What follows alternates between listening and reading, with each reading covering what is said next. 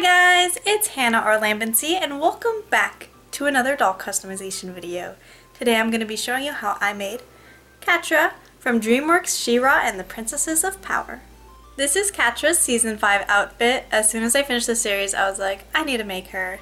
Catra is one of my favorite characters and overall She-Ra just means a lot to me as a gay woman. It's just it's really special to me. So I was very excited to do Catra and I really hope to do more She-Ra characters in the future. It's such an amazing show. I'm still thinking about the finale even though it happened like three months ago. oh, it is so amazing. Anyway, let's get started. The doll head I'm using is Howleen Wolf from Monster High. I picked this one because I love the face mold and also she doesn't have human ears so it'll be easy to just cut off her wolf ears and replace them with cat ears. I already cut off all of her hair so let's take the head off and pull out the remaining hair plugs. I leave the doll in hot water for about 10 to 15 minutes to soften the head and make it easier to pull the head off. It also makes it easier to squeeze when I'm taking out the hair. I use tweezers to get all of the hair and old glue out.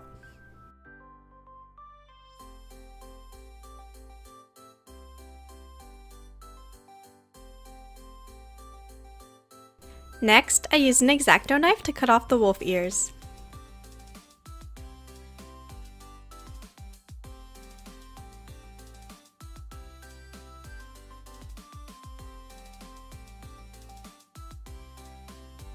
I covered up the giant holes with epoxy sculpt.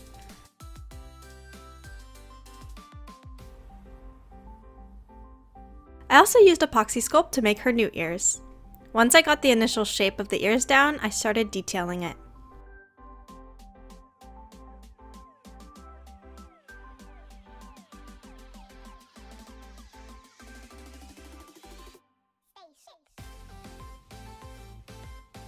Once the clay hardened, I sanded it until smooth and painted on a base with white acrylics.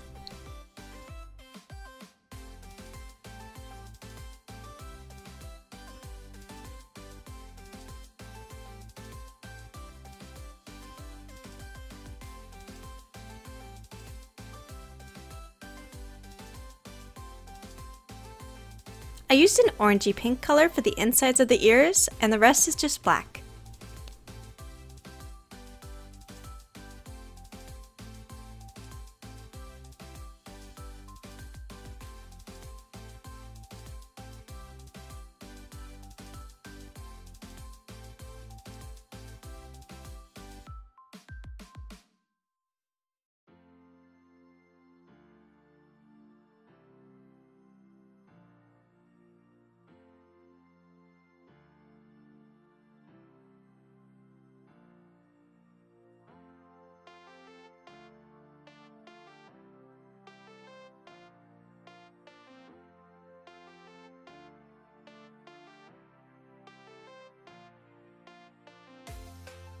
Now let's add some fur.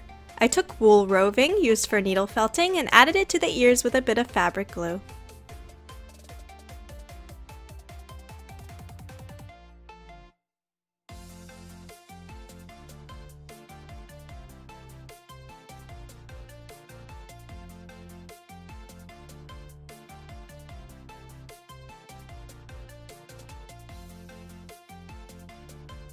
For Catra's hair, I used brown 100% acrylic yarn. I cut strands to the length I wanted and then tied them onto a metal hoop so that I can brush it out.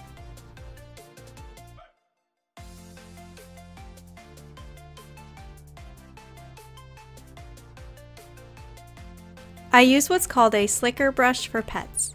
I brush out the yarns starting from the bottom and then working my way up. I keep brushing until there are no more tangles.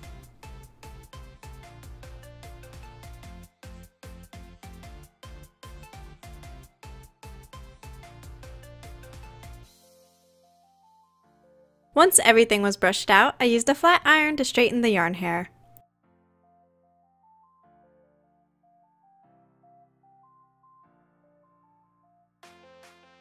Then I cut the hair off the hoop and set down plastic wrap to glue the hair onto. I used tacky glue to coat the tops of the hair and press the glue down with a plastic palette knife so it really gets saturated.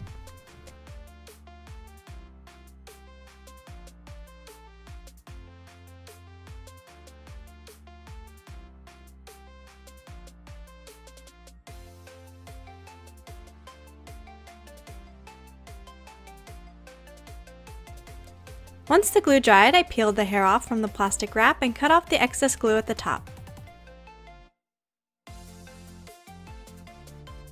Then I glued the hair wefts onto the head. I originally thought I was going to change the skin color using soft pastels, but I ended up using acrylic paint instead, so I definitely recommend doing the face before the hair since it'll make things a lot easier. I honestly have no idea why I decided to do the hair first. It was a big mistake. But she turned out pretty cute in the end, so I guess it doesn't matter.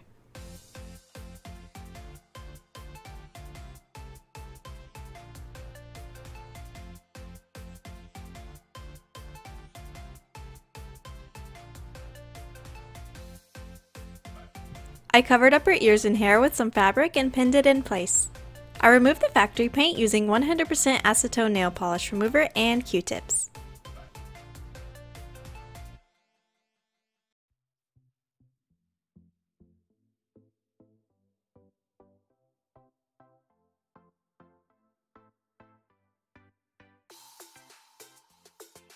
I'm not a big fan of the Monster High body, so I decided to use a Bunny Blanc doll for Catra's body. I painted everything orange with acrylics and then added the little details like her black nail polish and arm stripes.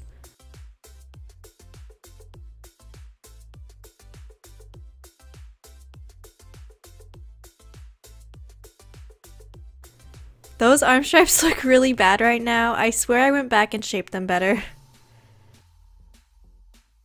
I did use Howleen Wolf's hands because I liked how they looked like claws.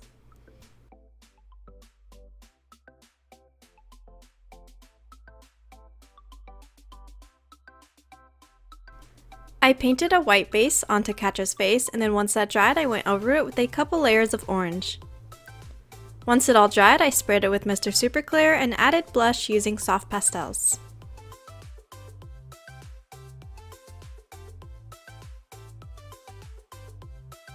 Now to draw on the face. I used Faber-Castell watercolor pencils. I started off with her freckles because they're just so cute I couldn't help it.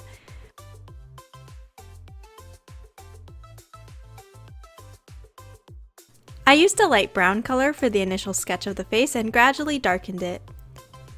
Mr. Super Clear or some other kind of sealant, it's super important in making the face more vibrant. You definitely can't do everything on just the first layer.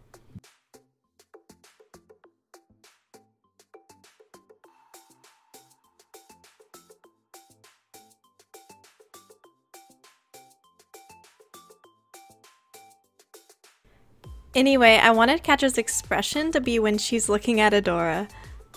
I wanted to capture just how much she loves her. Oh, they're so cute. Catradora is definitely my favorite fictional couple of all time. The friends to enemies to lovers trope is amazing and it's WLW so Lumity from the Owl House is also already up in my top 5, even though it's only on its first season, but I'm just loving how the development is going and I'm so happy that gay relationships in children's media is becoming more accepted. It's so good for kids to be able to see themselves in the shows that they watch. We need more representation in media. I feel like if I had seen shows like that when I was a kid, I would have realized and accepted my sexual orientation much sooner, and I wouldn't have, have to gone through so much confusion.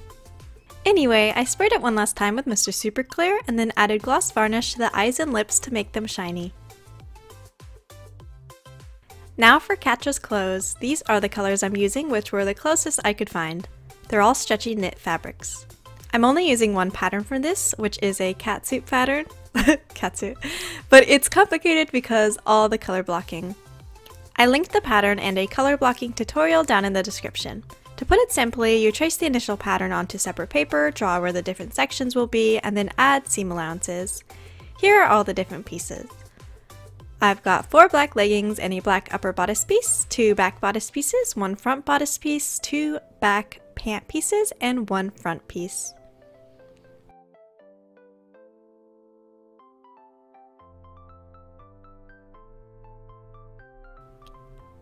I used fray check on all the cutouts so that it doesn't unravel.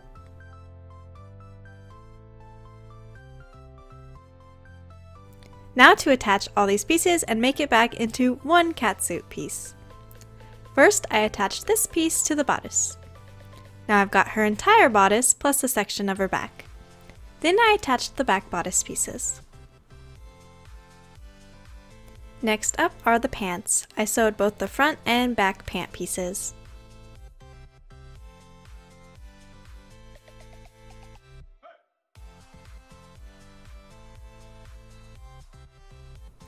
Finally, the black leggings. Now everything is together. Next, I folded the cat suit right sides together and sewed along the back, leaving an opening for the Velcro closure. Then I folded everything together and sewed all along here, leaving an opening for the arms to go through. I cut off the feet and tucked the unhemmed fabric under so it looks nice. I really did not like how the side cutouts looked, so I just glued some black ribbon over it. Finally, Catra's tail. I wrapped the same black wool roving I used for her ears around a piece of wire and then used needle felting to shape it.